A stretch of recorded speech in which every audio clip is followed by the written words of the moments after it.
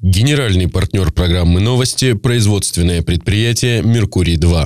Доступные квартиры в комплексе «Кавказ» от надежного застройщика «Меркурий-2» в курортном районе Анапы. Детские и спортивные площадки, автопарковка, квартиры с видом на море, рассрочка оплаты. Срок сдачи первой очереди – четвертый квартал 2016 года. Звоните 48 300.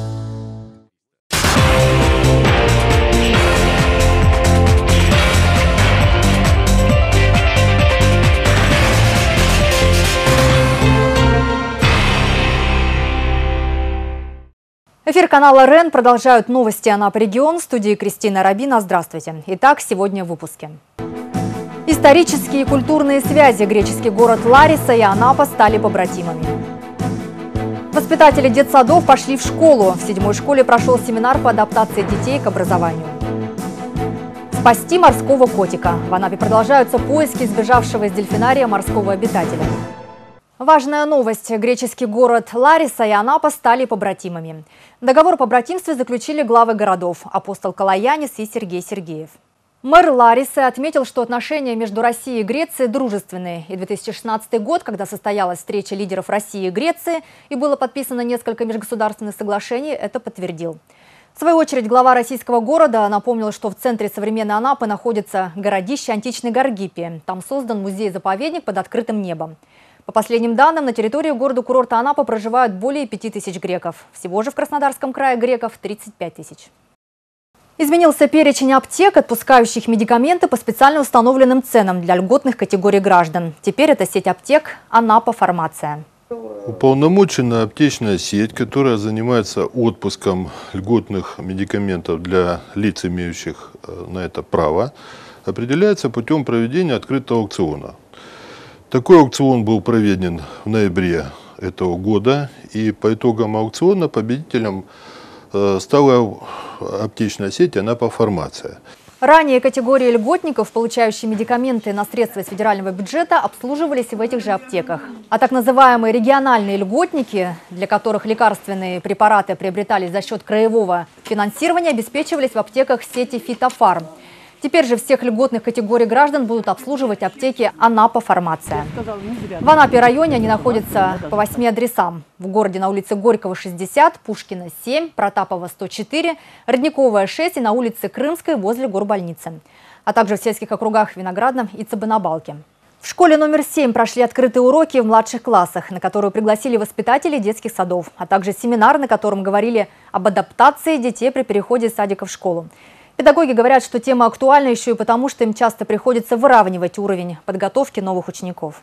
Это открытый урок в первом классе. На нем присутствуют воспитатели дошкольных учреждений. По сути, они смотрят на результат и своей работы. Педагоги собрались, чтобы обсудить переход из детского сада в школу. Контакт с воспитателями необходим для того, чтобы заранее представлять, кто придет в детский сад и искать тропинки, подходы, которые помогут раскрыться всем без исключения. Их немного, но есть дети, которые не могут, например, читать и писать на необходимом уровне. Все потому, что детям уделяется недостаточно внимания по разным причинам. При том, что самые главные наглядные пособия доступны совершенно бесплатно. Разговаривать, э, деревья показывать, птиц рассказывать, какие породы птиц, чем они отличаются. У нас Анапа такой красивый город.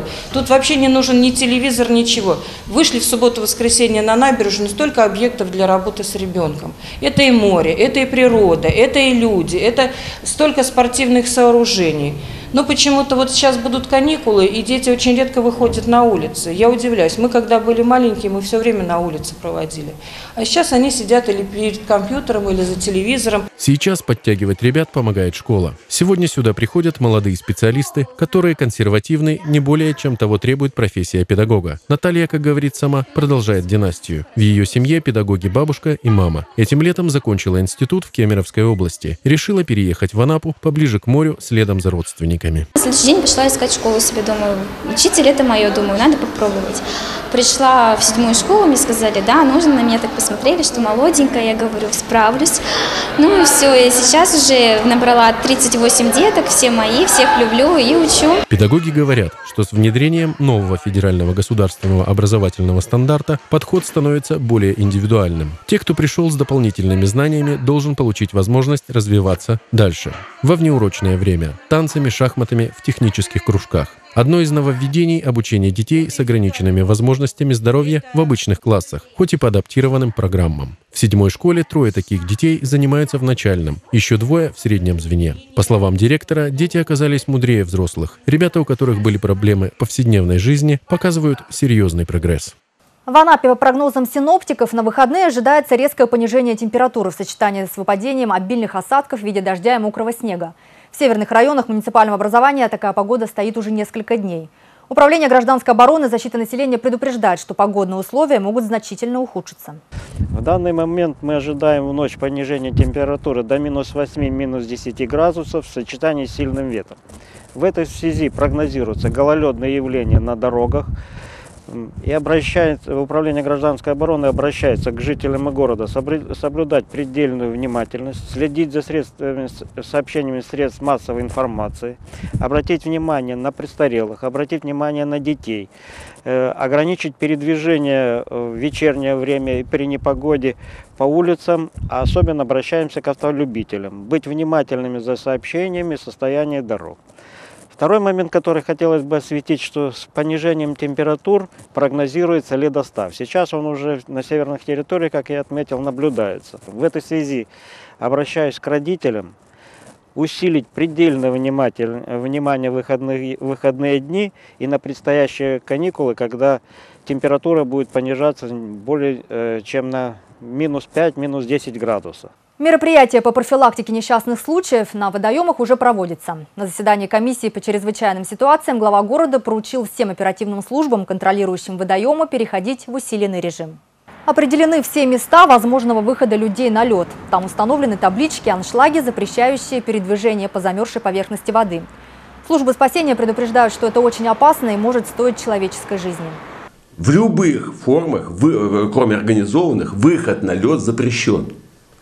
Почему? Потому что э, эта э, толщина льда, она не однозначная. Если у берега может толщина быть 2 сантиметра, то в центре э, водоема она может 1 сантиметр. Если здесь она 20 сантиметров, там она 5 сантиметров. А выход на ледно-технических средств вообще опасен. Почему? Потому что, э, сами понимаете, нагрузка на лед. Поэтому везде, на всех водоемах запрещен выход на лед. Есть в Куапе Краснодарского края есть штраф до двух с половиной тысяч рублей. Поэтому вот МВД, они могут привлечь гражданина к ответственности за э, выход на водоем и подверженность своей жизни опасности. В Анапе продолжают искать сбежавшего дрессированного морского котика. Напомню, что вечером 13 декабря в дельфинарии на Большом Утрише шторм повредил сеть вольера. И животное ушло в открытое море. С тех пор поиски беглеца не прекращаются. Это подруга Миши. Так зовут беглеца. Они содержались в одном вольере, пока шторм не разлучил их. Мише всего два года, в дельфинарии воспитывается с самого рождения. Сотрудники говорят, что очень к нему привыкли и переживают за него, как за ребенка. Такой же, точно такой же, только мальчик и чуть-чуть побольше. Побольше размерами, килограмм на 10 может, ну чуть больше. А ветер дул и шторм был, тягун, и сетка перетерлась об камни снизу на дне. И он вышел, видимо, под, сет... под сеткой, под вольерами прошел. Вот уже трое суток не прекращаются поиски. Сотрудники дельфинария отчаянно прочесывают близлежащую местность, невзирая на сложные погодные условия и раннее наступление темноты. Старший тренер Юрий Руднев опасается, что если усилится шторм, зверек может погибнуть. Мы э, обошли ближайшие территории вокруг дельфинария вот, прошли вот здесь вот, получается, эту часть практически всю, до да, первой лагуны.